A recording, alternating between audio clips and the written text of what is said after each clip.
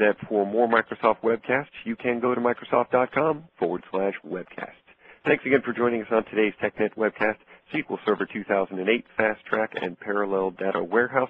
It is now my pleasure to introduce today's presenter, David Rodriguez. David, you have the floor. Thank you, Phil. Um, as uh, Phil said, we're going to be covering the Fast Track and Parallel Data Warehouse topic. Uh, this is uh, a very uh, full session, so I'm going to try to go through as much content as possible. Uh, there will be some time at the end for questions and answers as well. So without further ado, we will move on. The agenda for this session uh, starts off with traditional data warehousing, a discussion of the Microsoft vision for warehousing, um, our offerings in this space, both the Fast Track and um, the Parallel Data Warehouse. In the Fast Track, we'll go into a little bit of depth in terms of uh, what the architecture is, target workloads, and even uh, documentation on what we're uh, recommending in terms of optimization for storage, loading, and maintenance. Uh, then we'll do a parallel data warehouse discussion to go over all the different components of the Microsoft SQL Server R 2008 R2 Parallel Data Warehouse.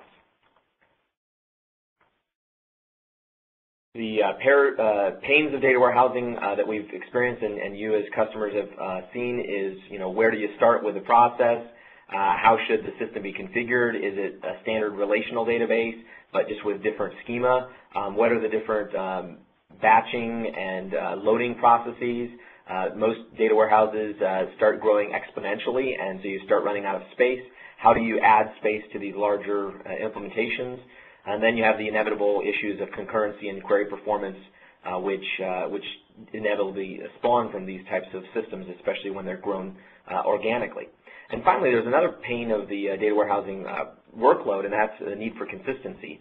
A lot of times you'll have query performance that's good for one query, and then two seconds later, another query is run with uh, similar attributes but significantly uh, different performance characteristics. So the goals for us from the Microsoft perspective are to help really alleviate all of these pain points uh, with our offering in the, in the Microsoft uh, stack. Therefore, we've introduced something called the SQL Server Fast Track uh, data warehousing uh, model. Uh, it focuses on a workload type for data warehousing versus the OLTP workload type. So I'm just going to kind of go over a little bit of a definition difference between the two types as we see them. Obviously, OLTP or online transaction processing systems generally have a balanced uh, read-update ratio of about 60% uh, read to about 40% update. They're very fine-grained inserts and updates. Uh, you know, if you think about any ERP system. There's an update of a single record for a customer. There's an update for a transaction for a, an item sold. So there's a high transaction throughput um, that are unit, unitary uh, transactions run against uh, individual rows. They're usually very short transactions as well and don't uh, encompass many, many tables uh, to do one update. Uh, and then sometimes there are multiple uh, step uh, transactions, such as financial transactions for closing the books and, and the like, so there is some workload that is uh, kind of spanning multiple databases and multiple tables, uh, but in general, it's very unary uh, operations. And they're relatively small data sizes uh, in the few terabytes uh, level, not the, the, massive sizes that we've been experiencing with data warehousing workloads. So in contrast, the data warehousing and business uh, analysis workspace is generally a read-mostly model. 90% or even more of the transactions that are applied against the data warehouse are read transactions, so they're pulling data from these larger sets. There are a few updates in place. Usually there are bulk inserts across the board, so it's not single unit updates. They're spread across uh, thousands and thousands of records, uh, but they're usually bulk loaded. Concurrency uh, for query throughput is usually in the tens of thousands of uh, per hour. Uh, per query response times are usually less than two seconds and uh, there's generally a different schema for a data warehousing workload than there is an OLTP workload. These are usually, usually what we call Snowflake or star schema, uh, and they allow you to have a few tables with uh, very large, some very large tables and then reference tables uh, attached in some way. Uh, generally, the data warehousing workload and business analysis uh, workload requires complex queries, which will do a lot of filtering, joining, grouping by, and aggregation. And these generally uh, occur against very large uh, data sizes on the tens of terabytes to the petabyte uh, level. So the way we look at it is for OLTP, that's the day-to-day -day business, and for uh, data warehousing, that's really analysis over very large data sets. in terms of data warehousing uh, workload characteristics, here's kind of an example. Uh, it's a very scan-intensive query. Hash joins and aggregations are often utilized for this workload. Uh, you can see the select statement is, is actually doing a group by, an order by, and pulling a lot of data sets from this line item table. So uh, some of the uh, SQL Server data warehouses today uh, that you can see, generally this is kind of the, the view that, that, you often have. You have a big SAN, uh, a big SMP server, so uh, symmetric multiprocessor server with between four and eight sockets that could have between four and six uh, cores, and these two systems are generally connected together. However, as you grow, you have certain issues. So what's wrong with this picture as you're throwing in more and more disk subsystems and more and more servers? Uh, the answer is that the system becomes out of balance. The addition of more workload to that same SAN uh, actually impacts all of the data warehousing workload that has been traditionally uh, performed on that server. So the server can consume about 16 gigabytes per second of I.O., but the SAN at this uh, juncture can only deliver about 2 gigabytes per second. So even when the SAN is dedicated to a SQL warehouse, uh, which it often isn't, uh, lots of uh, I.O. is really being uh, the bottleneck for the system. So lots of disk and random I.O. Uh, are available, but uh, because of the um, limited controllers that are on these SANs, the throughput, which is really what you care about in a data warehousing workload with these very large data sets, is limited significantly. So uh, systems that are generally data warehousing systems are typically I.O. bound. So it doesn't matter how many CPUs you throw at it or how much uh, RAM you throw at it, uh, you're not going to be able to significantly impact your workload. Uh, and, and what we often find is people try to do that and then they uh, are disappointed by the fact that they've spent uh, thousands and thousands of dollars on one component and not solved the problem. therefore, there's a significant investment uh, but it's not delivering on the performance uh, requirements. And, and obviously that's an important aspect when you're talking about these uh, data warehousing workloads. So let's talk about the different performance bottlenecks uh, that you can have in a system of, of uh, SQL Server data warehouse. First of all, on the server, there's a CPU feed rate. Uh, this is really the determining factor as to how much I.O., how much memory um, data points can flow through a certain CPU. And uh, the goal is obviously when you're doing a query uh, to be able to, to, flush through that CPU as much data as possible in order for it to do the joins, the queries, uh, the, the, filtering. Uh, then there's a SQL Server read-ahead scan rate, which allows you to pull data at larger blocks uh, than what than what the CPU uh, is requesting. So if the CPU certain query is requesting a certain amount of records, then the C SQL Server will scan ahead and expecting that you'll probably be pulling the next a few uh, pages of records, uh, try to get them in cache and available for the CPU. Then there's another bottleneck, which is the HBA, uh, the host bus interface, um, and that what that tool is is it's an interface between your central processing units and your storage arrays. And generally, these HBAs have specific uh, rates that they're able to deliver uh, bandwidth through. And they, they are the I.O. port, and, and oftentimes, um, if you have too few of them or if they're not sufficiently sized, uh, they can become a bottleneck. Then there's usually a uh, fiber channel switch. Obviously, these HBAs are generally fiber channel connecting to some storage array, uh, generally a, a, SAN, and uh, those storage arrays are connected through what we call a fiber channel switch. That, again, can be a significant bottleneck, especially if you have, just, just in terms of thinking about um, networking, if you have 10,000 users connected to one switch, that's going to definitely have a, a lot lower throughput than if you have five users connected to the same switch.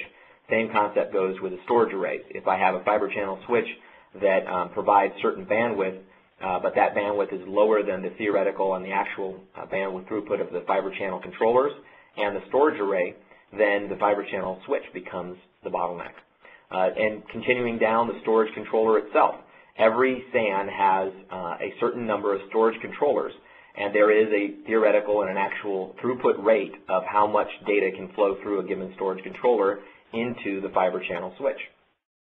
Uh, those storage controllers have caches as well, but when you're talking about a data workload uh, that is data warehousing, the cache can be helpful, but is not necessarily uh, that helpful because you're usually doing scans across large sets of data, and you generally will flush the cache with every single query, and therefore not get much value out of out of caching um, on the SAN infrastructure.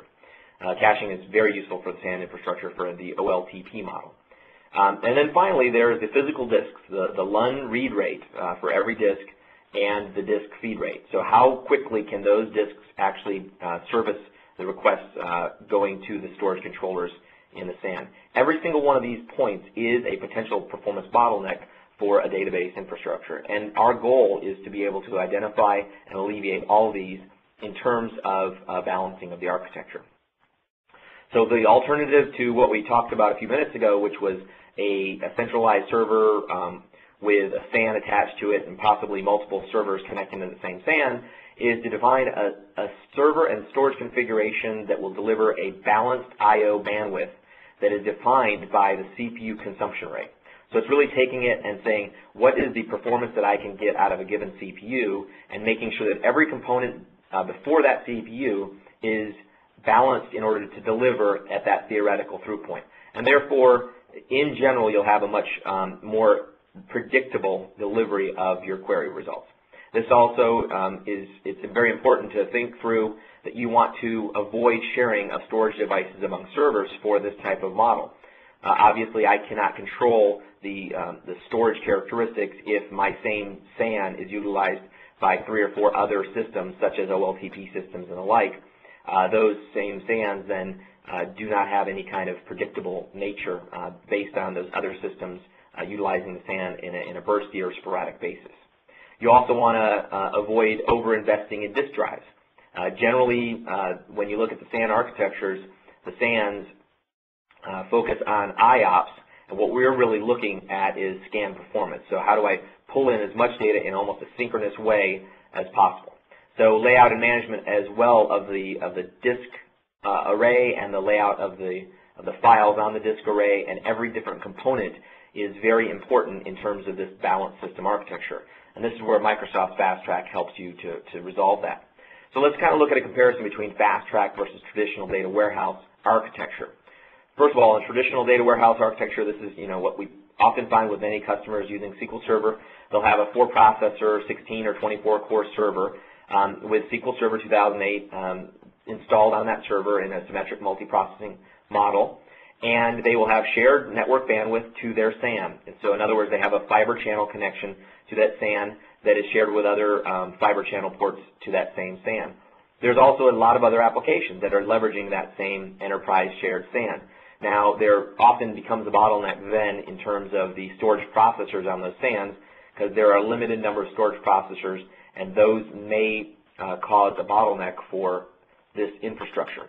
So the alternative is a fast-track data warehouse architecture with a dedicated data warehouse infrastructure um, modeled after our data warehouse appliances. And we'll talk a little bit more about this as we go through it.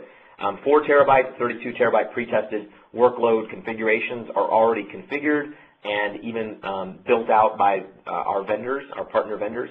So it's very easy to acquire one of these in a much uh, richer and, and, easier way. So the, the architecture includes dedicated, very low-cost SAN arrays, uh, about one for every four CPU cores. Now this is a, a, changing number as CPU cores improve in performance, as there are more cores per socket. Um, this number uh, will change over time, but at this point um, the architecture is de designed for about one uh, mini SAN would be the way I would describe it per uh, four CPU cores. Now the important thing to, to, note here is this is not the SAN that most uh, organizations consider their enterprise shared storage array network. Uh, those SANs are very, very expensive, um, very highly tuned for a lot of different options for uh, adding um, disk drive. There's, there's just a lot of expense that's put into them. So what, these are, uh, what we're talking about here are more of a commoditized version of a disk cage that has the word SAN attached to it. Now, you have also uh, an architecture that includes the dedicated network bandwidth. This is the dedicated fiber channel bandwidth between your SQL Server and these dedicated low-cost SANs. Now, uh, suspend disbelief for a few seconds because obviously when people talk about SANs and the cost of SANs and, and this architecture right here we're talking about with a 16-core infrastructure is showing four dedicated SANs, uh, can, can definitely look like it can be expensive, but we'll talk through the architecture and then uh, the actual cost structure, which is, is phenomenally low. So the benefits uh, of this architecture is, first of all, it's a pre-tested configurations that lowers your total cost of ownership. It's balanced CPU and I.O. channel optimizations specifically for the data warehousing workload. Uh, we've done a lot of research in that to identify what that workload would be. It's modular, so we can, in essence, build this out to be larger and larger systems simply using the same approach. And frankly, this similar approach is what we've used for our parallel data warehouse infrastructure.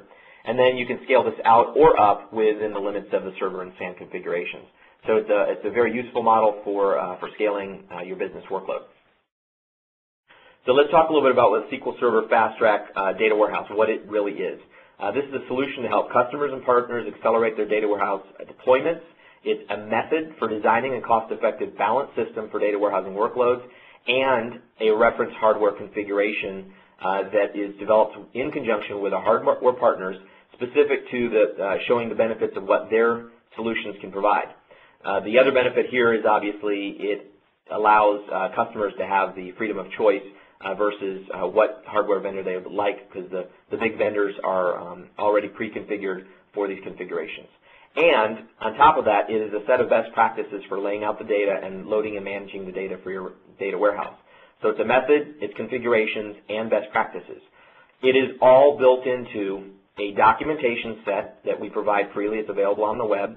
Um, and it's also a, uh, a, set of bill of materials that each one of our hardware vendors can, can deliver uh, with just a, a, request for, I need this specific configuration. So it takes a lot of the guesswork out of tuning a system to our customers uh, and puts it into the hands of Microsoft and our hardware vendors. And again, it's the very low-cost approach. Now, one note here is the Fast Track Data Warehouse is specifically a relational data warehouse. We're not talking about integration services or uh, reporting services or analysis services. It's specifically a data warehousing specific component. So if we look at the scope of what a fast track would look like, you can see that everything in the bottom left dotted box is really the reference architecture for the data warehouse. It's your server and dedicated SAN and storage array connected to that server. That server would then be hosting the data tables that are utilized by Analysis Services Cubes. Uh, it would be filled and loaded through supporting systems such as your ETL tools, such as the integration services, and then there'd be a presentation layer on top of it which could do direct queries to your data warehouse tables, um, or it could connect to cubes or have some kind of uh, intermediary BI tools. So it's really just a relational engine for your data warehouse. Some of the benefits of the Fast Track Data Warehouse that I've alluded to already is, first of all, lower TCO. It minimizes the risk of overspending on unbalanced hardware configurations. This is probably one of the most significant uh, areas of pain for our customers uh, in that they are trying to build a data warehouse and then performance is not uh, at the level that they're looking for and they're trying to identify specific bottlenecks. This is a way to remove all bottlenecks from the beginning for your data warehouse workload and make sure that the system is completely tuned uh, to meet your needs up front. It is utilizing standard uh, industry standard hardware as well, which is a significant benefit because we're riding on top of Moore's law, taking advantage of the every 18 months doubling of uh, hardware performance. Therefore, for total cost of ownership, each time you acquire a fast track system, you're getting the most performance system for the lowest cost, uh, leveraging commodity hardware pricing. And I can't stress that enough compared to some of the other uh, data warehousing technologies in the marketplace. Choice of hardware platform is another uh, benefit that this uh, architecture allows. You, you can see on the right we have 12 uh, symmetric multiprocessing reference architectures for this from HP, Dell, Bull, IBM, and EMC and those are our hardware partners, but there are obviously um, other solutions we can talk about in the Q&A. Um, it, it, allows the implementation by the vendor, therefore the vendor makes sure that their system is completely tuned and can deliver it to you in a very rapid format uh, as a single unit of purchase. It also reduces the risk because this infrastructure is validated by Microsoft at our Microsoft labs with SQL Server uh, and our product team. It encapsulates all of our best practices, so uh, simply by running the scripts, utilizing the technology, taking advantage of the hardware, uh, you're uh, being able to stand on top of the shoulders of, of those um, people who have made uh, a lot of an analytic uh, attempts at figuring out the best way to deliver on a data warehousing platform. Uh, and then obviously you get a known performance and scalability characteristics This is that ability to be predictive in terms of your SQL Server warehouse experience. So how can I tell if a fast track is right for me? Well, uh, workload evaluation is the most important thing. Uh, understanding what your workload is that you're going to uh, apply to your data warehousing infrastructure. Uh, the fast track re reference documentation uh, and training provides uh, a basic framework for evaluating these opportunities, and it's very important for you to identify the appropriate workloads um, because fast track is, is completely tuned for a data warehousing workload based on what we talked about earlier in this, in this talk.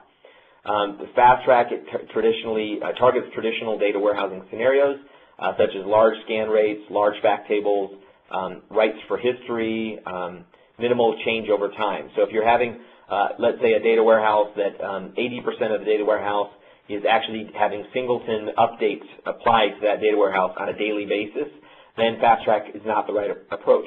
If you're having a large data warehouse that on a daily or a monthly or a weekly or even hourly basis you're updating records of the most recent transaction since the last time you did a batch update, uh, this is going to be an ideal scenario for you. so there's balanced architecture components uh, that we'll talk through uh, of what the fast track is all about. Uh, there is a, a whole philosophy uh, around the architecture of how you build a fast track uh, implementation. And again, this is all built in to um, what we've delivered with our partners.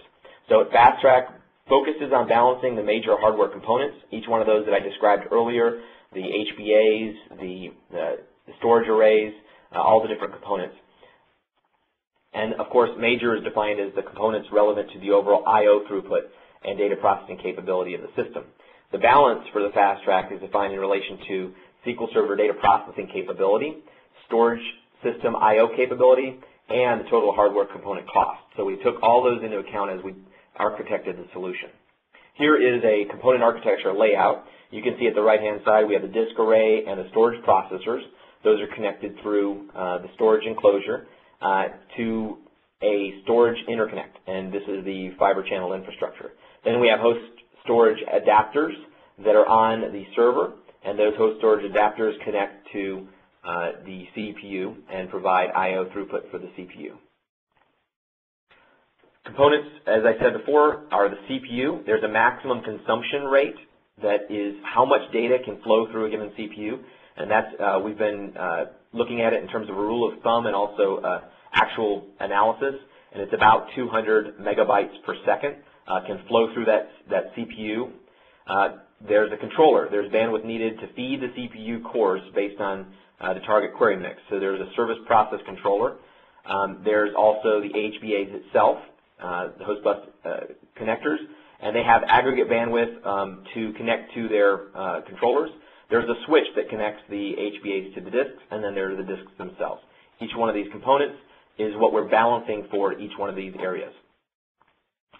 Uh, there are a few evaluation metrics that we've put together in order to identify a system, in order to validate the system, and also in order to be able to allow customers and partners to create new systems that are similar to Fast Track uh, take advantage of the, of the learnings of Fast Track, but may have components that are unique to that customer need. So the metrics that we use uh, to validate uh, Fast Tracks with our partners and also to allow you to, to leverage them for yourself is what we call the maximum consumption rate, the benchmark consumption rate, and the user data capacity. I'll go in depth in each one of these over the next couple slides. So the maximum consumption rate uh, measures the rate at which SQL Server can process data from memory for a given CPU and server. Uh, this is measured per physical core, and it utilizes page compressed data. So when we look at the data, it's uh, leveraging a page compressed compression model that I'll talk through more in a few seconds. It provides a, a starting point uh, for the hardware selection. This, we like to allude to the miles per gallon on a sticker on a new car. Uh, mileage may vary, but this is generally the starting point as to what uh, the theoretical expectation could be um, for Fast Track 2.0, and that is the version of Fast Track that we're currently in. Uh, this is the second release of the of the configuration. Uh, we've measured a mix of TPC-H queries to reflect a prototype data warehouse workload. So this is a little bit different than what you will find in your specific workload, but it is standardized um, queries that would be for a traditional data warehousing. We concluded from that, as I said, around 200 megabytes per second per core on average based on the standard cores that are available, the x64 cores available. We use this as our basis for the published reference architecture, so all of our partners that are delivering the reference architectures utilize this as well. And as we uh, said, um, your mileage may vary. So for precise, sizing, we recommend the next step, um, which is, sorry, I skipped a slide, uh, to leverage the benchmark consumption rate. The benchmark consumption rate measures the rate at which SQL Server can process data from disk for a given CPU and server for a unique customer workload. This is your specific query workload and your specific data. There uh, definitely will be some differences between this and the, uh, the theoretical uh, rate, but in general, the theoretical rate should get you very, very close. So um, this is an actual miles per gallon you get from your current driving habits. So it's a little bit different than the uh, sticker. Um, but standard values compared against the MCR um, in the fast track system um, are, are generally close to a BCR that is about 30% below the MCR rating for the system indicates a higher MCR uh, rated system should be chosen. So in other words, if you looked at your system and your your own benchmark consumption rate is significantly lower than what the um, expected consumption rate would be, then what you want to do is take a step up to the next system. And I'll talk through that. Uh, there are stratification or layers of the different systems available to you. So the benchmark is your specific, and uh, the, the next thing we talk about is the user data capacity. Um, this is the data capacity required, and each one of the systems that we describe has a, a theoretical or, or a, an actual recommended approach. Um, obviously, there are uh, differences that you can apply to it, but user data capacity is really something that you should plan uh, for your projected growth uh, by identifying your system as to what you're expecting the growth to be and uh, build that user data capacity in at the beginning up front. Uh, there's a lot of benefits uh, to this and also, um, again, since we're riding Moore's Law on this and taking advantage of the extreme benefits of the commoditization of hardware, uh, the cost of a few extra hard drives or having a different uh, hard drive configuration up front uh, is much less than uh, having any modification down the line. You want to allocate for data management needs as well, so staging database requirements, temporary objects, uh, stuff like that you want to add into your user data capacity. And you also want to allocate uh, for TempDB, typically around 20 to 30 percent of the primary data space. So you take your your, expect your expected primary data space and then add in um, about 20 to 30 percent for TempDB. So let's talk a little bit about maximum consumption rate, theoretical throughput for the for the I/O stack. Um, we looked at the the whole architecture and kind of created a, a building block component. So the building block for a fast track is a two-socket quad-core server, and that really would be eight total cores per server. Now that's just the building block, the starting point where we can kind of expand that and ex explain how that grows. But this is a, a, layout of what that building block would look like, and you can see at the, the bottom right-hand uh, side there's storage enclosures, and since we're talking about eight cores, there's about two storage enclosures to feed those eight cores to take advantage of, of the uh, balancing of the architecture. And you want to ensure that the I.O. is balanced across the entire infrastructure, and this will help you to, uh, to make sure that each different component is working at its, its optimal or at least close to its optimal utilization and uh, delivering on full performance. So if you look at the MCR of that server, it's about 1.6 gigabytes per second. Um, you take that down, so for every four socket uh, uh, or four core socket, uh, you'll have an HBA allocated, and these are minimum of 2 gigabytes per second. You've got a fiber switch that's also got that 2 gigabytes per second. That can um, then fan out to four storage processors. Generally, a storage enclosure, a SAN, has two storage processors each. So each one of these SANs is going to have about a 500 megabytes per second storage, and then the disk uh, layout inside of those, uh, as you can see, with 500 megabytes per uh, second for each one of these SANs, you have about 300 uh, megabytes per second per spindle. So the layout is really just kind of sized for that, and, and we go in, in much more in depth in terms of the, the, documentation. So I don't have time to go too in depth on how it's documented, but uh, definitely I would recommend you look at the uh, at the specifications. So actual results from the uh, fast track validation. Uh, I was just telling you the benchmark uh, or the let's back up. I was showing you the maximum consumption rate. So these are the numbers that every one of the vendors of each one of these pieces of hardware uh, say is their theoretical throughput, right? Now what we've done is we've uh, analyzed that, run it in real physical hardware, and come to what we see as the benchmark consumption rate for most uh, implementations. And obviously this is where your actual mileage you get and actual mileage may vary based on your driving habits. Um, but you can see here that the storage enclosures actually have a little bit less megabytes per second throughput. The fiber switches have less um, throughput than you would expect, and storage enclosures have less than the theoretical. And so does the BCR, uh, which is the, the throughput that can be pushed through the actual cores. So every different component actually has a little bit of a, of a lower level for their benchmark consumption rate versus their theoretical. So how do we scale this architecture? Well, as I said before, it, we're doing it in building block components. So we have a, a four um, core socket. So I have two sockets of CPU. Well, an easy way to scale this is just look at this and say for every two CPU cores, uh, or for every four CPU cores, then I have one HBA, and for every one HBA, I have one um, storage enclosure. So I have two sockets, so I have two HBAs, and I have two enclosures. So the next step is let's scale this up one. Let's put two more sockets in, therefore two more HBAs and two more storage enclosures. Let's go one step further, put in four more CPU sockets. So this is an eight socket server uh, with four cores each. So 32 cores. And then you can see that the HBAs are fully filled out and we have uh, a full eight storage enclosures in order to support uh, the the total throughput of this system.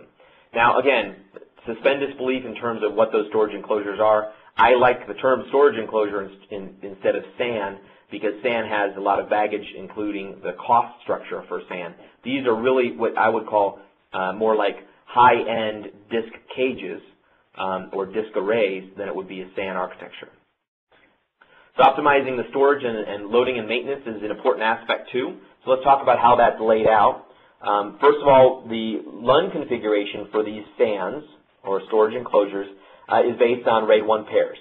Uh, this is optimal for scan type access patterns, and again, looking at what the patterns are, scan uh, access is the most expected uh, for the, the workload. So we want to optimize for that. We also stripe across all the storage using SQL Server data files, and this is an important aspect as well. So we want to take advantage of every uh, capability, uh, parallel reads, and all the other capabilities that are built into SQL Server. So we want to have um, every data file, uh, uh, every data file group spanning all of the data um, data files in the infrastructure. Uh, the observed throughput for a single RAID pair is about 130, 130 megabytes per second. And you can see that for every RAID group, we have two LUNs. That way we can get parallel reads out of this infrastructure very easily. So the storage layout implications for SQL Server is we want to create a SQL data file per LUN. So if we take a step back and look at that architecture, uh, we have eight LUNs that are available to us. So we're going to have eight files.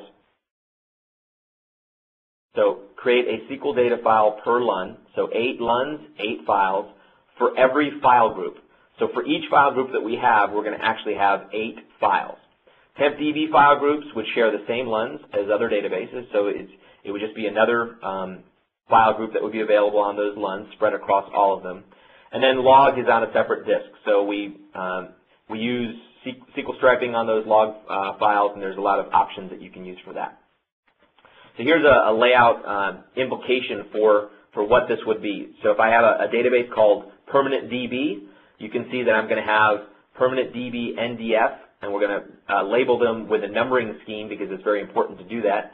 Uh, you'd have permanent 1 on LUN 1, permanent 16 on LUN 16. You'd have a staging database, you'd have a temp database, and you can see each one of these uh, databases is going to have a file per LUN in their file group.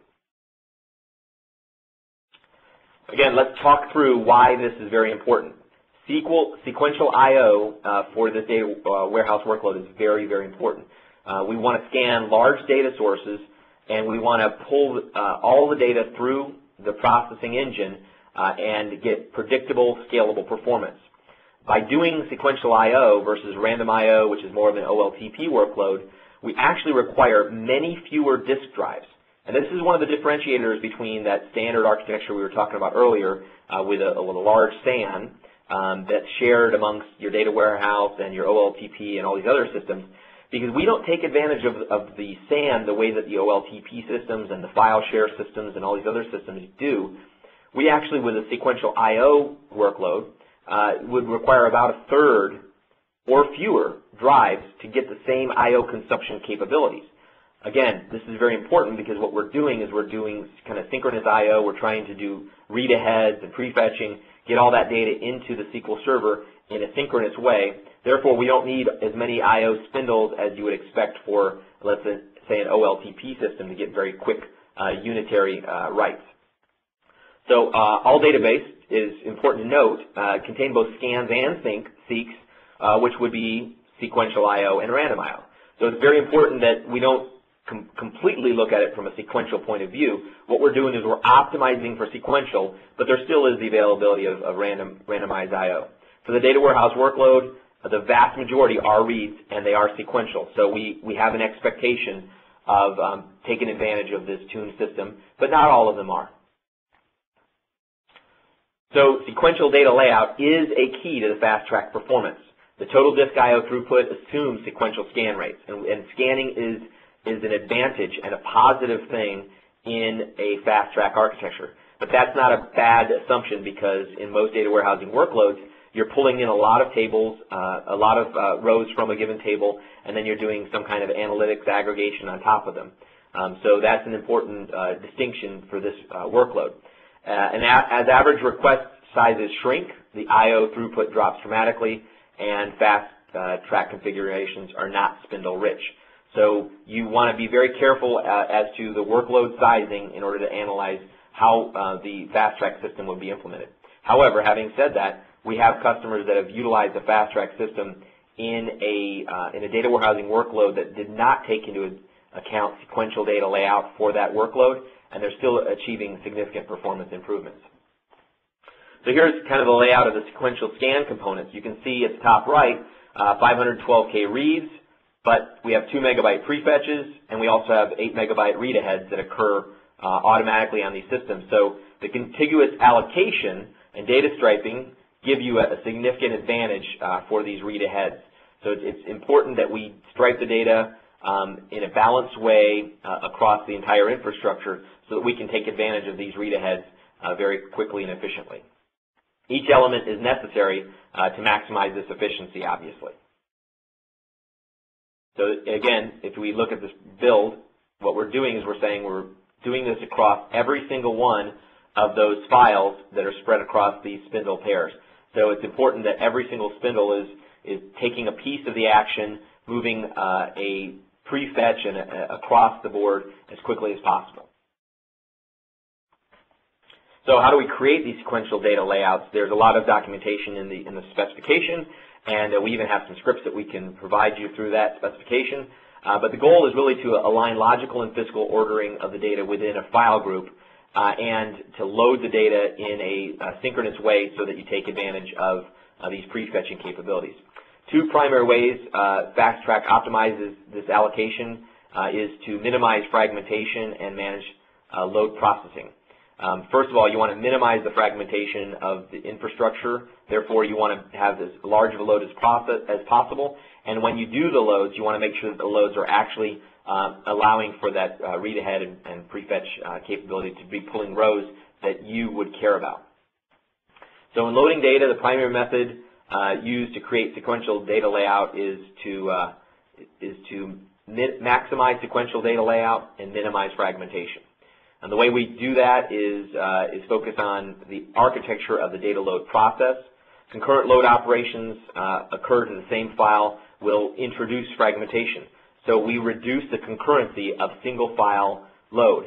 But in order to get concurrency and parallelism, we will load in parallel many different files. So we get the advantages of the multiprocessors in our system, but what we do is we load any given file synchronously and, and do not have uh, as much fragmentation as you would expect. Um, we also try to reduce um, things like change operators, updates and deletes, because these obviously may uh, create uh, significant amounts of fragmentation. So to, to avoid fragmentation, uh, we focus on how do we load this infrastructure. So it's going to take a little bit of a different mindset, but frankly, uh, for the data warehousing workload, it's a very traditional and standard way to deal with it. Uh, other load re recommendations, um, they're, they're broken into two general scenarios. Uh, first of all, there's migration and then the incremental. Migration is when you're first loading your data warehouse from scratch or you're loading it from a previous data warehouse or something like that. They're very large, one-time, infrequent loads.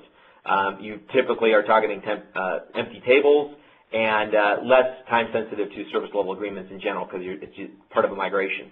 Incremental loads, however, are the ones that happen continuously throughout the, uh, the week, month, day, year, whenever you're doing it. And these uh, typically target um, populated tables. So there's a different way of architecting for that versus um, the migration workload. And we have documentation on how to, how to help with both of those. Fast track reference architectures that are available. Uh, I'm going through right here some of them that are available right now um, from HP, Dell, IBM, Bull. We have several partners that support this. Uh, you can see that each configuration underneath the server has the server name, it has the CPU type, and the number of CPUs that are populated and then also, in essence, the number of uh, effective cores that are available to you. Then we have the number of SANs that are allocated to those cores, uh, and then the data drive count that are allocated to those SANs. You can see that the initial capacity and maximum capacity numbers are also included. These are core balanced capacities, so in essence, the recommended capacity. A way to look at this reference configuration is to say, I have a data warehousing project. I'm expecting it to be 12 terabytes within the next three years. So I will probably choose um, one of the systems such as the HP ProLiant DL585 G6 system. It has 12 terabyte starting capacity, uh, 24 terabytes maximum capacity. So if I'm expecting to be at 12 terabytes, maybe what I will do is um, build this out with a little bit larger capacity and uh, take advantage of growth over time but have it uh, completely uh, expected to take all the workload uh, that I will be needing for the next uh, few years. That is going to provide you 24 CPUs. Uh, they are uh, leveraging six SANs, and again, the word SAN is kind of a misnomer here in certain respects because it's more of a disk enclosure. And then that fast track architecture you can buy directly from our partner uh, to take advantage of that and not to be um, kind of focusing on a single um, partner, I'll also highlight the Dell PowerEdge R900 can provide the similar characteristics, as well as the IBM X3850 M2, uh, and also the Bull NovaScale. So in terms of those architectures, I'm going to go a little bit more in depth uh, in each one of the areas just to highlight where, where we have this. Uh, there are also advantages uh, that we get from having a very large performance um, increase for Moore's Law. AMD and Intel have consistently been comparing uh, their results and leapfrogging each other in terms of the performance of their CPUs. Uh, and this has really driven Moore's Law. So the advantage that we're taking here is that there are AMD systems and there are Intel systems that each one of our partners can provide to you. The, the five AMD systems uh, and Intel-based systems from HP are highlighted here. I've got two slides uh, one of which is the two-processor configuration. Uh, this is really the lowest configuration that we would recommend. And uh, I'm going to kind of walk through what that configuration looks like. First, uh, the every one of the systems, as I said, kind of starts off with the two processor. These are two sockets and four cores as the minimum. So this would be, in essence, an, an eight-core minimum system. Uh, you can see that the HP ProLiant DL385 with a G6 configuration is actually a six-core AMD Opteron, and the storage arrays, and again, these are or, uh, what we're calling arrays. They are actual SANs, but they're very uh, low-cost alternatives, the MSA storage uh, configuration. Scalability for this system is between 4 and 12 terabytes. We have many customers that they're right now having a one terabyte or two terabyte data warehouse, and they're being requested to scale that. A two processor configuration for that architecture with this uh, very low cost alternative uh, can definitely get them into the future and also uh, provide a, a much more uh, predictable query response for those same systems. Four processor configuration, as you can see, it's the uh, same configuration, right? It's a 585 instead of a 385. It's got the six core AMDs, uh, and you can see we've actually added more storage because the storage actually directly is impacted by the number of CPUs. And then finally, there's an eight processor configuration. This is a fairly high-end system, frankly provides uh, a lot of throughput, and you can see it's up to about 48 terabytes in terms of the storage. The other two of the HP offering are uh, the Intel-based offering, and you can see this is a four-core Xeon for the two-processor configuration, and the six-core uh, Xeon for the four-processor configuration. And again, uh, maxes out at, four, at 8 terabytes and 24 terabytes respectively. Uh, there is no 8-socket um, configuration at the moment for this. Now, uh, in terms of IBM, uh, we have uh, the benefit for the customer is if you already have a, hardware provider that provides these, then obviously they're they're going to be able to sell you a configuration that's pre-tuned, pre-architectured. They have a two-processor, a four-processor, eight processor configuration. This uses a DS340 storage system from IBM, and you can see that these are Intel-based uh, Xeon processors as well. And then uh, there is a alternative from Dell as well. And Dell provides the two and the four socket boxes. Uh, these uh, are with the Intel quad core for the two processor and six core for the four processor configuration. And again, 8 terabytes and 24 terabytes respectively. And then finally, Bull has provided a similar architecture with a two processor and a four processor configuration. Um, we find this leverages the EMC CLARiiON architecture for the SAN enclosures. And these are the, the lower cost, kind of, like a mid-range SAN enclosure versus the, the high-end SANs that you would expect somewhere else.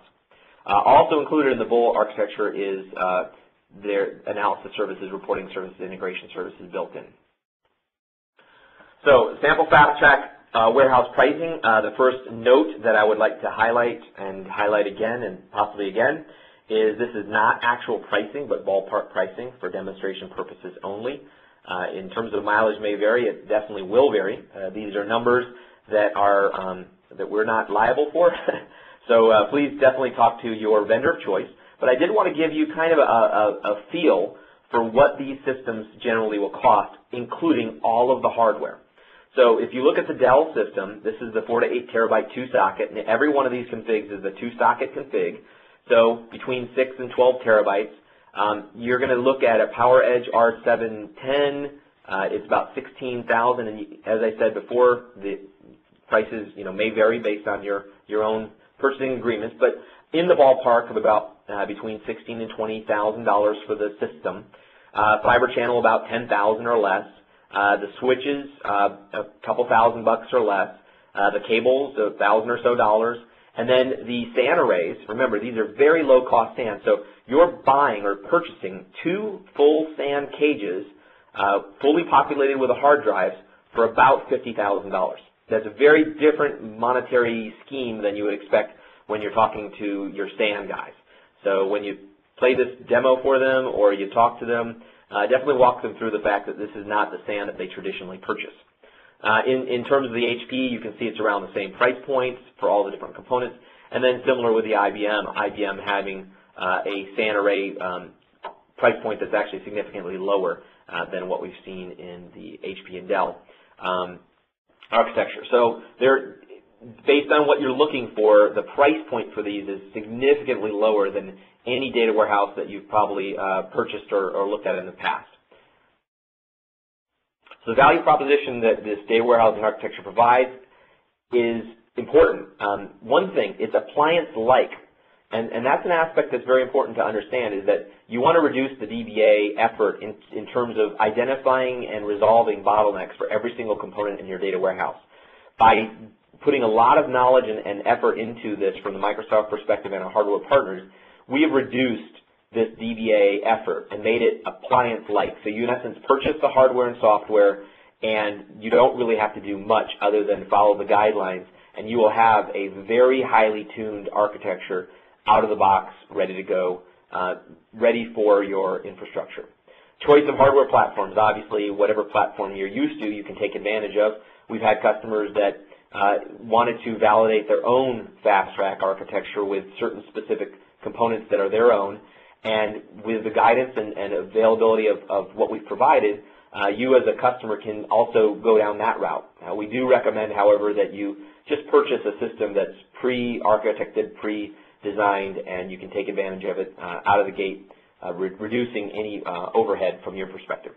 Uh, lowest TC, low TCO, not lowest, through the industry standard hardware and obviously high scale. This this architecture scales very, very well uh, up to about the 48 terabyte range, assuming a, a 2.5 compression ratio, uh, which is standard and expected on, on, most of the workloads we've run through. Uh, and finally, it's reducing of risk. Uh, we've validated this architecture, we've validated it with our hardware partners, and we've implemented best practices and provided them to you in very, uh, very detailed documentation. So in summary, from the fast track, track perspective, um, it's a faster time to solution. If you really um, are in the process of identifying a, a, data warehousing architecture, you could very quickly, in probably two to three months, have this system up and running, built, and even start the loading process uh, with very little overhead. In terms of time to market, that is a, a very different um, scale than what uh, a lot of the, the data warehousing projects have seen in the past. There's still work to be done in terms of data warehousing, in terms of identifying the schema, um, de defining and building the schema, conforming dimensions, doing all the stuff that any data warehousing project requires. But this takes the hardware and the software question out of it and makes it a very straightforward way. Also, um, there are additional benefits by taking advantage of the fast track that we'll go through in a few seconds in terms of our other component of the, of the data warehousing infrastructure. So in terms of the timeline, uh, in 2008, uh, we delivered SQL Server 2008, uh, including enterprise ETL, star join query optimizations, a lot of data warehousing components that were frankly required for us to be able to deliver fast track architecture. Then in 2009, we delivered our fast track architecture version 1.0, partnering with HP, Dell, EMC, and Bull. Uh, in 2010, we delivered our fast track data warehouse 2.0, and I would expect documentation um, for this architecture to uh, evolve uh, on a continuous basis. Uh, you can see at this on this slide, if you do download the slide, I have included the documentation for the Fast Track 2.0 uh, link. It's msdnmicrosoft.com at this link. And then in 2010, we are delivering a test harness for partners in order to uh, create better um, validation of their fast track infrastructure. Um, so it's very easy for them to validate it and even give you documentation on the validation. And then finally, beyond uh, Fast Track vNext, the future, uh, integrating more with partners and incorporating next versions of SQL Server. One of the benefits here is that through this analysis, we've found areas that we would like to improve in the relational engine SQL Server itself, and so there's a really good positive feedback uh, loop for the SQL Server product development team between uh, fast track architecture and uh, improvements in the product over time. So I'm going to take a step back and uh, kind of re-architect uh, what the data warehousing perspective is for Microsoft and then kind of go into the next area. The data warehousing perspective for Microsoft is really empowering every organization to be able to go uh, from the low end or the introductory level of a data warehouse all the way to the high end or the, the highest scale data warehouse uh, that you can imagine. And our goal is to focus on fast track for the introductory, the low end, the low cost, low TCO. Um, a lot of our customers, probably a significant percentage uh, in the above 80%, are probably going to take advantage of the fast track as their first approach uh, because of its high scale, even with just a single symmetric multiprocessor. But there are always those situations where you want to have a, a larger implementation than even the 45 terabytes that we're talking about. And that's where Microsoft uh, SQL Server Parallel Data Warehouse comes in. SQL Server 2008 R2 Parallel Data Warehouse is a product that we're offering that's built on top of Windows Server 2008, leveraging, as we did with Fast Track, partner-based solutions for hardware. So we're getting a lot of the commoditization capabilities for these hardware architectures, but we're building out what we call a massively parallel um, processor environment for data warehousing technology. This is an appliance-like experience as well. uh, it's much more appliance than what a fast track provides. It is purchasing of specific racks of this configuration. All hardware is purchased from a single vendor in one uh, or multiple units of racks. Um, you have multiple vendors to choose from, and it's orderable at the rack level. I can say I want a, a single rack of Parallel Data Warehouse, and then the vendor will assemble all the components. Uh, it will image the appliance, install the SQL server, the operating system, uh, the Parallel Data Warehouse software, all that uh, installed and available for you so that what you do is you just turn it on at your site.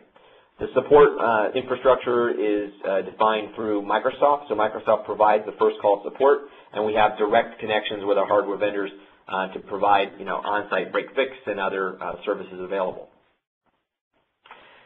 This may look familiar. This is the building block of a parallel data warehouse um, infrastructure. It is a database server and a storage node. This is also uh, the building block of the fast track architecture. When we decided to uh, architect the fast track implementation, we leveraged a lot of the learnings and knowledge that we had for the parallel data warehousing components and uh, implemented that in our fast track architecture. So this is a, a natural progression from the fast track con conceptual model that we just discussed. Here's a layout of the full infrastructure of what a parallel data warehouse appliance uh, would look like. And I'll go through some of the highlighted components. You can see on the right-hand side, we have our storage uh, array or arrays. We have database servers that are um, connected to that storage infrastructure. These are connected with dual uh, fiber channel connections. Uh, we have control node, management node, landing zone, and backup node. And then on the left-hand side, you have your corporate infrastructure. Um, everything in the appliance, in the database infrastructure, is in a black box model um, located on its own network, its own internal network. So that um, that isolates it from your corporate infrastructure. Uh, the way that your corporate infrastructure would leverage uh, querying would be through client drivers, ODBC, OLE DB connections directly into what we call our control node. So the control node is where the client apps connect. Uh, it is a massively parallel processing engine uh, control point, and this allows the, the system to be able to process queries up front and then span those queries across the back-end database servers that, that, are in the appliance. It controls data movement to all the nodes uh, back and forth and contains all the system metadata. So this uh, control node is uh, really the interface between the outside world and the parallel data warehouse appliance. That control node, as you can see, is in a active-passive cluster, uh, so the control node is highly available. The compute nodes are the nodes that are database servers. Uh, they store the user data, they perform local query processing, and they run data movement services. And I'll talk a little bit more in depth about what that data movement service is all about. Uh, but just think of each compute node as its own isolated um, computing infrastructure with a standard SQL server installed, or with a regular SQL Server installed, and it has its own local storage that it's taken advantage of. Uh, these servers, however, are not accessible to the outside world. Again, it's an appliance architecture, so each, even though there's a lot of SQL servers in, in this um, array, uh, they're not visible to the outside world. The outside world connects through the control node. Then there's a landing zone. This landing zone is a connection point between the outside world for being able to do ETL loads in and out. Uh, it's a staging place for uh, dumping the data into the appliance. Uh, it is accessible to the outside world, and it can be augmented by third-party hardware and software as well as um, you know other technologies. Then there's a backup node, and the backup node is available for uh, backing up your infrastructure. Uh, one implicit thing in this diagram is that the backup node has dedicated storage for itself, and it can be of different configurations. And what that backup node does is it allows the system to have a consistent backup of the entire uh, data warehouse. In general, uh, we spec these out at about 30% of the total storage for the database server is uh, connected to the backup node for doing backups, uh, but that's something that's uh, configurable and choosable by the customer. And then finally, there's the management node. This is the Windows Domain Controller. Inside of this appliance is its own local lockdown domain this uh, management node manages that domain. It uh, provides software upgrades and patching. Uh, this is what holds the software images in case the node needs uh, re-imaging. Uh, we use our Microsoft HPC or high performance computing infrastructure to uh, manage the entire appliance. So the appliance is, is auto-managed through this um, infrastructure. The management server is available to, um, to connect from the outside world, but it's mainly just for its management user interface. Uh, one thing to note there too is that if you look at the client drivers, uh, this is really where you would uh, have a VBA connecting to. Uh, the management uh, node is generally from a monitoring perspective, some, somewhere for uh, systems monitoring and management. Uh, the ETL interface is where a DBA would be loading in data or a data steward uh, organization. And then finally, the corporate backup solutions would be uh, managed by that group. So we, we did look at this from a perspective in terms of the inter interconnections between the corporate infrastructure um, of a separation of duties uh, based on what generally a data warehousing uh, infrastructure would need. So important functionality built into this is fault tolerance. All the hardware components have redundancy. The CPUs, the disks, uh, the networks, uh, power, storage, processors. Uh, there's a lot of different capabilities built into it. Uh, the control and the compute nodes use failover clustering, so those are available uh, continuously even if there's a failure of the physical hard drive, or a physical server. Um, and then the management nodes and the um, they have active and standby uh, capabilities as well. So the management allows you to, to manage that infrastructure very efficiently. This integrates very cleanly with the SQL Server BI tools, So integration services, we have a PDW uh, destination built in, in integration services. So you're able to directly load in and out uh, through integration services. Analysis services has a PDW source as well for building cubes. And uh, reporting services has connection in Power Pivot as well. There are other important functionality components like a parallel loader. Uh, this, in that landing zone, is a function that allows you to load your infrastructure in parallel with a very high performance loading process. Uh, there's a lot of uh, logic built into that so that the, the, landing zone is not a single point of failure or a bottleneck for the infrastructure. Um, and if there's Q&A on that, I can go a little bit more in depth. Uh, there are two ways of implementing the parallel loader. There's an SSIS destination, as I described earlier, for those that like the, the visual interface. And then there is a command line tool that is built into the product as well. So you can do command line batch loading as well. Very performant, high-speed parallel copy is leveraged in order to do this, both uh, data loading and data exporting. Uh, this enables uh, the hub and spoke scenario that I'll describe a little bit later. But the, the real concept here is that uh, parallel copy is, um, is built into the system from day one from design and architecture. Um, there's also parallel backup and restore. Uh, the backup files are stored on backup nodes. As I said, it's a separate uh, disk, uh, disk arrays. And backup files can be archived to external devices and systems. That's why we don't have 100% of the backup file uh, capacity on the system because you can put it uh, wherever you'd like in terms of tape or wherever else. This architecture is an ultra shared nothing. Uh, it's an extension of traditional shared nothing designs. The push is for shared nothing architecture in SMP nodes, um, and the I.O. and CPU affinity within the SMP nodes is leveraged for high performance. So that eliminates contentions per user query, and um, it allows us to use full uh, resources for each user query. Um, we made sure that by tuning the SQL servers on every given node, uh, we could take advantage of parallelization at each node and also take advantage of the um, parallelization across the nodes in this infrastructure. And I'll talk about how that share, sharing model is uh. Now, this is, even though it's shared nothing, there is also, as I said before, a cluster built into the system so that any given node uh, can fail and that node's workload can be taken on by, through a, a failover um, process. There are multiple physical instances of tables. Um, we distribute large tables across the infrastructure, and we replicate small tables. So we'll talk a little bit about how that architecture works. Um, and that kind of adds to the ultra shared nothing model to, to really improve performance. And finally, we redistribute rows uh, on the fly when necessary.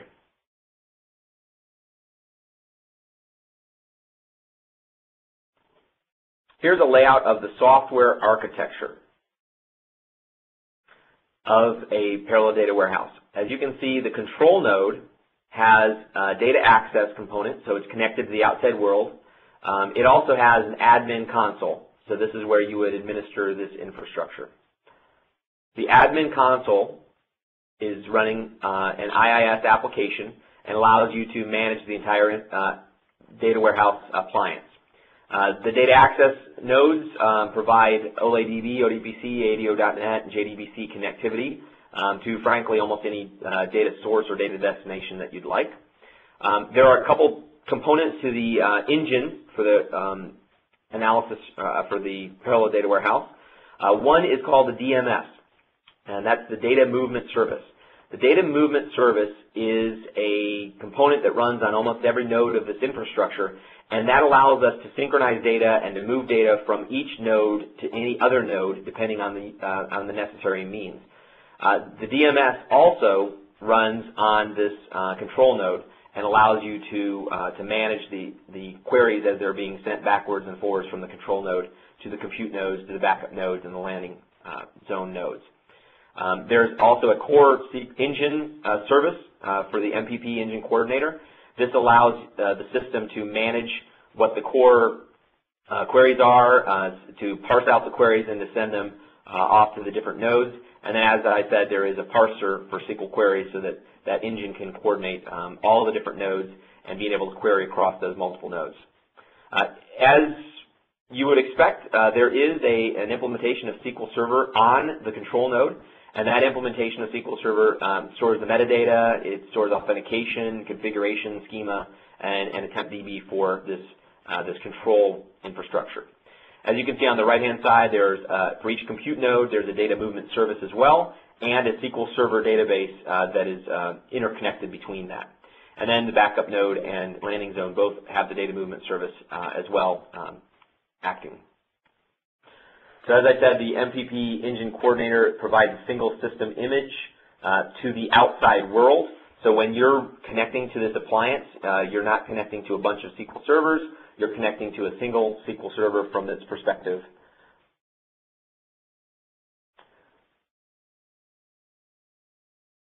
In terms of the data movement service, uh, as I said, this data movement uh, service uh, applies data movement across the entire infrastructure. And, that, and that's one thing to note. For instance, if you load data from the, the landing zone, uh, that data may get moved to a given compute node, and then that given compute node will move it on to another compute node where its inevitable destination may be. Uh, that allows us to parallelize all the workload across all the nodes as we're doing work and not have a single uh, point bottleneck such as a landing zone might be if you uh, theoretically thought that the landing zone had to parse out where every single uh, record would end up. So here's a kind of a demonstration uh, that we've delivered. It's the TPC DS uh, infrastructure. Uh, it's a 150 plus terabyte solution with 1 trillion rows for the store sales data. 100 million customer rows, um, and you can see the other dimensions that are uh, in this architecture. This is a sample architecture that we built out to kind of demonstrate how this would work. And you can see the database on the left-hand side. Uh, and I'm going to talk through how the distribution uh, and replication would be delivered in this uh, warehouse architecture. So the first thing that you would do is you would deploy all of the infrastructure in two ways. First, you'd take the store sales table, which is the largest, the 1 trillion record table, and that would be a distributed table. So in other words, every node of that table is going to have or every node of the compute uh, nodes is going to have a piece of that table in a shared nothing model. Now, in terms of the replication, every one of those other database tables that are linked to that would actually be replicated. And that allows for a lot of optimization in terms of the localized queries.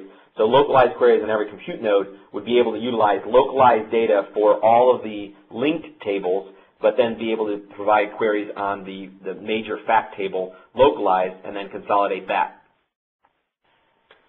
Um, in terms of configuration and monitoring, uh, this is kind of a, a, view of what the, the logging and performance counters are available for. Uh, we capture all the performance DMVs and we under we union uh, them uh, in the user interface. So from a DBA perspective, you'll be able to see what's happening under the covers throughout the entire infrastructure and this is uh, available so that we can take advantage of uh, HPC monitoring. So this is a high-performance compute cluster uh, built inside of a single appliance, and uh, it takes advantage of all the benefits that you have for configuration monitoring of that.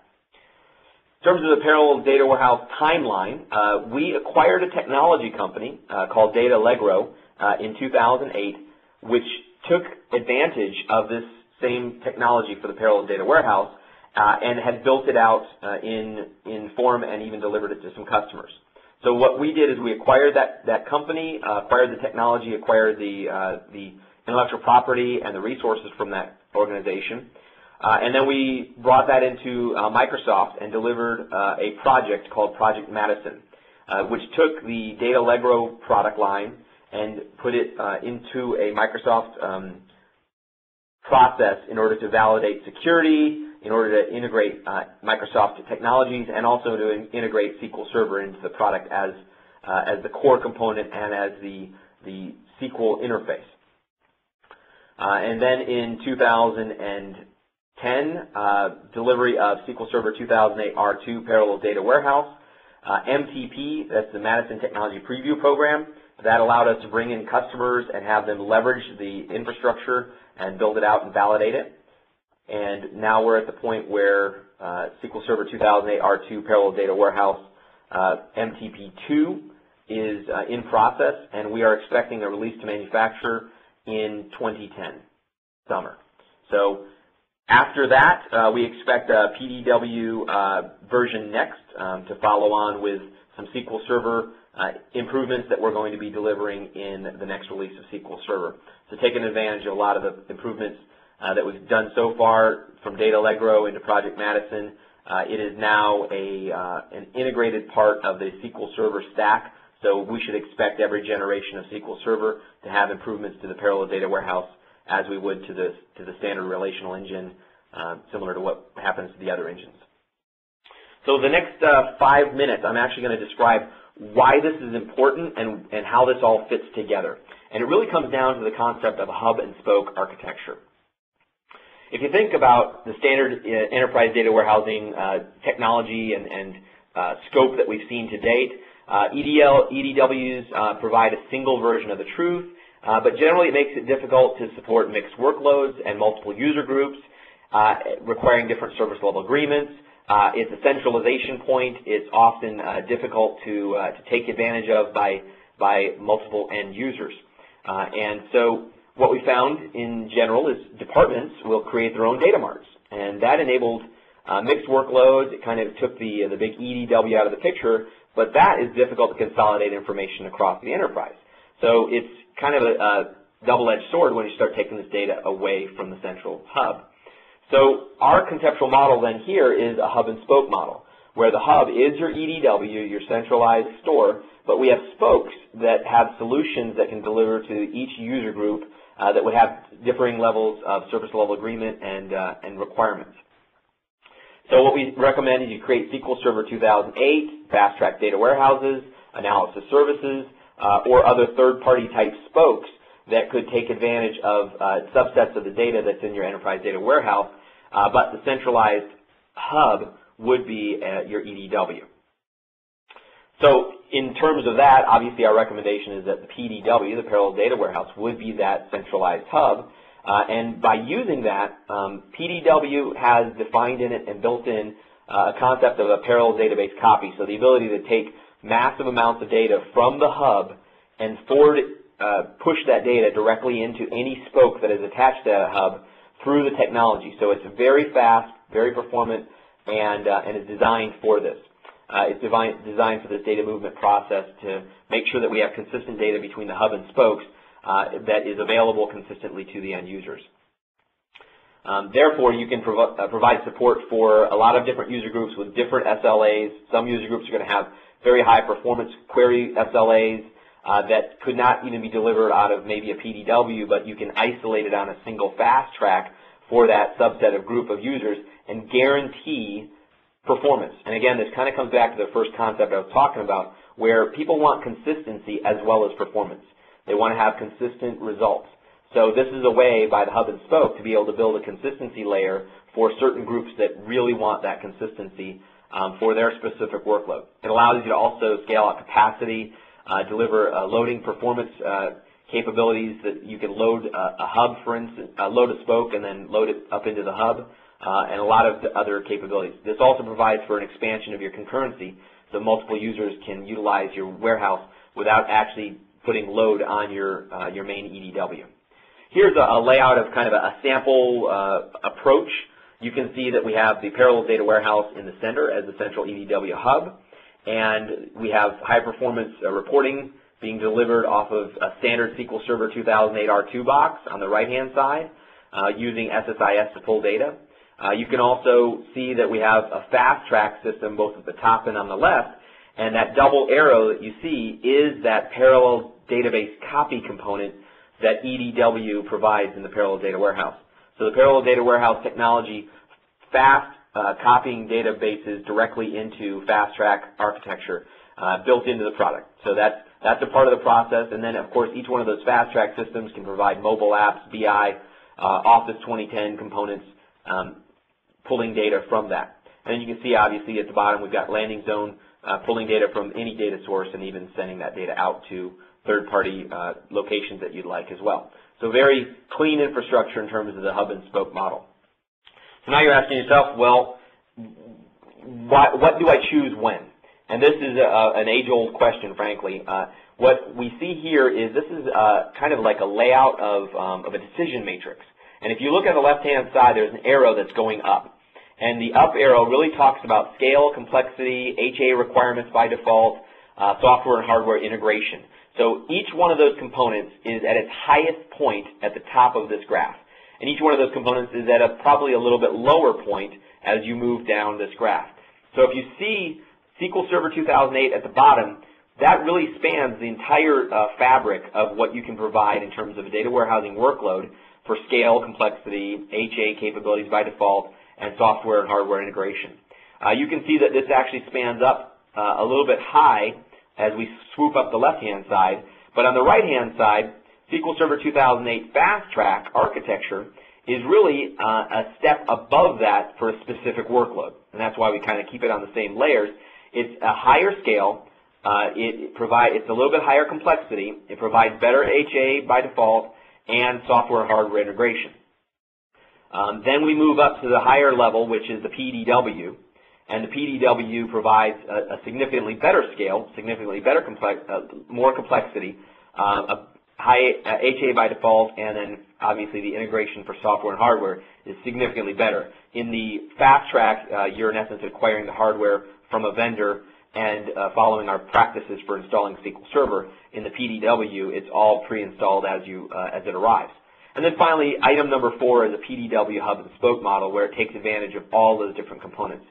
This is also a linear timeline, what we would expect most customers. Most customers are going to either have a, a SQL Server or some other database architecture for their warehouse. They're going to probably move that into a fast track architecture for the low TCO. And then as requirements demand, move that into a PDW or a PDW hub and spoke model based on uh, what their expansion needs are. So finally, in summary, uh, the Fast Track delivers an appliance-like feature set with a very, very low cost on commodity hardware. I apologize for the typo there. Uh, Parallel Data Warehouse offers massive scalability to the hundreds of terabytes of level. Um, its appliance experience is far superior to what you would get with Fast Track because it really is an appliance. Uh, we do, however, give you hardware choice for all the different components, uh, and it's a low cost uh, through industry standard hardware. So this is, again, following the Microsoft traditional way, and complete integration with the Microsoft BI tools. Um, with the hub and spoke architecture, this allows you to integrate your current SMP infrastructure, buy or build a fast track architecture, expand that to a parallel data warehouse um, hub and spoke model, and never really lose the capabilities or have to replace uh, forklift upgrade or anything like that, your infrastructure. So having said that, I'm going to uh, turn it over to Phil for any questions and answers and uh, ask for you to, uh, to stay on the line and, and, I'll answer any questions I can. Thank you. All right. Thanks, David. And ladies and gentlemen, if you have any questions for David, please go ahead and click on your Q&A menu option at the top of your screen, type your question into the field provided, and then click the word Ask. Uh, be sure to click the word Ask and not the hand. The hand will not submit your question. So uh, be sure to do that. If you would like to print a PDF of the slides, you may go to the lower right-hand corner of your client and click on the PDF, or the printer option rather, and that will allow you to save or print a PDF locally for your convenience. And finally, appearing uh, in your slide area here in just a moment is the portal to the post-event evaluation. Please click on either of the links that are currently posted on your slide area, either registered online or all other registrants, depending on how you registered for today's webcast. And uh, if you would fill that out before logging off today, it would be very much appreciated. It uh, is taken very seriously, and we do uh, take that into consideration when um, setting up future TechNet webcasts and their content. Uh, with that, I am going to turn the floor back over to David for any questions that have been submitted or any closing statements.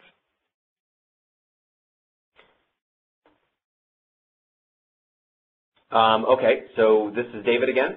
And first of all, I just uh, realized that this was set to level 300, and I want to apologize because um, I couldn't go into technical detail since there was so much topic to cover uh, on each of the different components. I will recommend, though, um, if you are looking for in more in-depth uh, knowledge about it, the architecture is completely defined in our white paper for the fast track architecture, and it's version 2.0. Uh, and that link is in the, uh, the slide deck, so please please look into that. So let's look at some of these uh, questions. Um, it looks like they're all Q&As for the bridge line, dial information. All the questions I have say there's audio problems.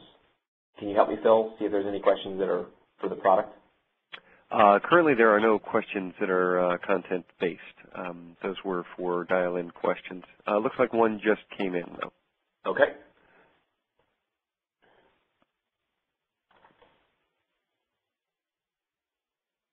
Okay. So when working with PDW, how different uh, is it than working with relational SQL Server in terms of SQL Query SSIS? Great question. Uh, we support a subset of the standard uh, T-SQL uh, that is available with standard SQL Server. However, from your perspective as uh, a query tool, um, it looks just like a SQL Server. Uh, there are certain data types that we do not support in PDW that um, is on the options for the future but it, from a perspective of a client, uh, if you're currently running a data warehouse and it's, it's on SQL Server and you want to upgrade it to PDW, uh, the workload uh, queries that your clients are using, all they would just do is use the PDW source instead of uh, a standard SQL Server source, and uh, to them there would be no difference. All, all of your database tables would look the same, the queries would be the same, uh, the same. In terms of SSIS, the, the PDW destination obviously is and source is a different destination than uh, than the SQL Server destination, but it would act uh, in a similar way. So it's designed to to load that data uh, through SSIS. Any other questions?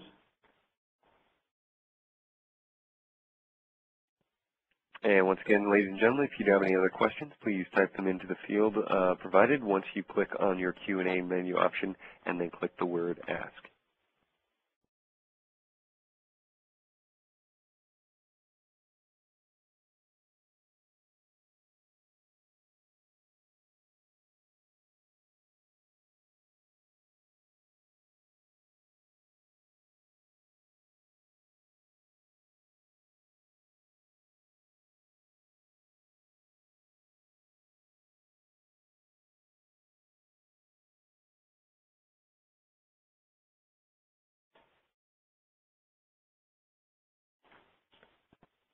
Okay, it does not appear that there are any other questions pending in the queue. Um, David, do you have any closing statements? Oh, there. Uh, as soon as I mentioned it, there's a question. All right. So uh, do we still get tools like Profiler in PDW? Thanks. Okay, uh, that's a good question. And the answer is yes and no, um, as usual. The PDW has that interface that I was talking about before that allows you to monitor what's happening in the system. Uh, and that's, uh, that does provide similar capabilities to what Profiler provides because it gives you uh, visibility into the DMVs and what's happening on the box. Um, so in general, we don't have a profiler that's for every single SQL Server running on every single individual node. We have a higher level profiler that is for the PDW environment itself, which has similar capabilities to what you get in Profiler, uh, but it's not Profiler.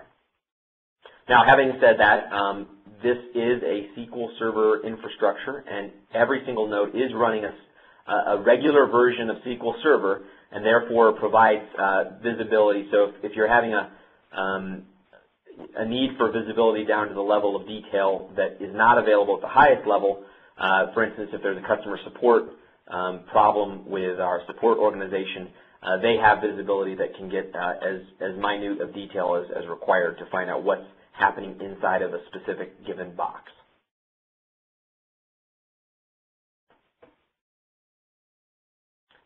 I have a question. Was this on par with what people were looking for? Um, I, I want to make sure that we're at Microsoft delivering what everybody's looking for. So uh, um, please give uh, feedback on, on the process as, as necessary. Any other questions to answer?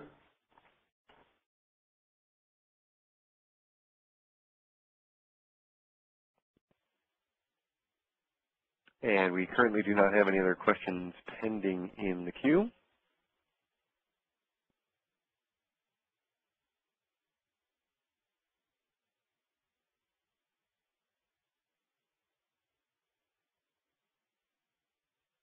Well, then, it's uh, been 90 minutes. I appreciate everybody for their time and um, appreciate uh, the opportunity to explain uh, one of our very important flagship components of our data warehousing stack to you. All right. Thank you, David. And ladies and gentlemen, uh, once again, if you would please take a moment to fill out the post-event evaluation, the portal of which is currently posted on your slide area. You can go ahead and click on either of those links. Uh, they will both take you there. And it looks like one other question has popped up into the queue, David, if you do want to take that. Oh, that is just a thanks. And uh, with that, uh, I would like to formally thank Mr. David Rodriguez for his uh, time and his presentation. Thank you all for joining us. You may now disconnect from the audio portion of today's webcast and have a great day.